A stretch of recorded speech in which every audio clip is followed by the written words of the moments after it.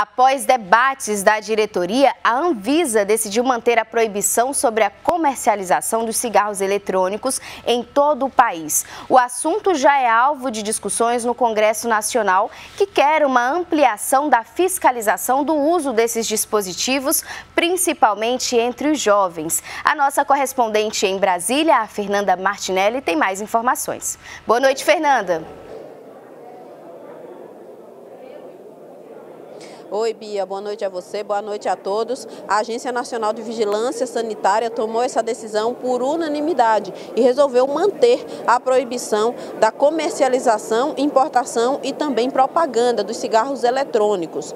Toda essa análise foi feita através de uma avaliação de impacto regulatório, principalmente por causa do crescente vício dos cigarros eletrônicos e dispositivos semelhantes aos cigarros entre os jovens. De acordo com a diretoria da Anvisa, é necessário que haja um controle muito maior, já que muitos é, comércios vendem os cigarros eletrônicos sem nenhum tipo de fiscalização. Esse debate, claro, veio parar aqui também no Congresso Nacional e a deputada Rejane Dias apresentou um projeto e vem participando de audiências públicas e também de discussões relacionadas à proibição dos cigarros eletrônicos. Ela conversou com a nossa reportagem e falou sobre a importância da atenção, principalmente pela propagação do vício entre os mais jovens. Vamos acompanhar.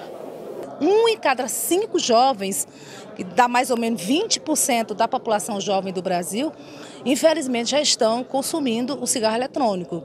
E, e ele é, ele provoca um, um, um, mal terrível à saúde das pessoas, porque é o consumo também de nicotina.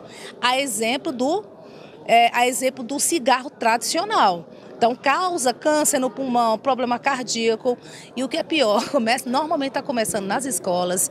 Os pais já estão sem dormir, preocupados, porque é uma porta aberta também para entorpecentes, para outro uso de drogas mais pesadas. E, e a, por isso eu apresentei esse projeto de lei para proibir o uso do cigarro eletrônico nos ambientes, nos ambientes fechados e nos ambientes abertos. Ou seja, é uma forma de coibir o uso realmente do cigarro. Claro que o ideal seria proibir de forma integral, mas eu acho que esse já é um primeiro passo para a gente chamar a atenção e da conscientização de que hoje é um problema de saúde pública entre os jovens. Então, por isso eu apresentei esse projeto, é um projeto realmente que ganhou uma notoriedade muito grande, inclusive com a imprensa nacional, é, devido à importância do tema que é muito caro à nossa população, que é exatamente o uso agora do cigarro eletrônico, que inclusive é proibido pela Anvisa. Quem vende o cigarro eletrônico comete crime, mas infelizmente Aí é onde as autoridades também têm que ser mais duras, mais incisivas na fiscalização.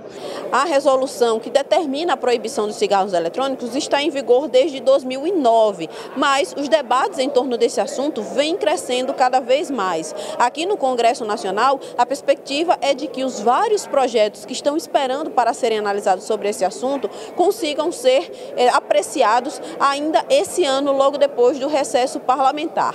Muitos já passaram pela Comissão de Saúde, como é o caso do projeto da deputada Rejane Dias, e aguardam apenas a apreciação dos parlamentares no plenário Ulisses Guimarães.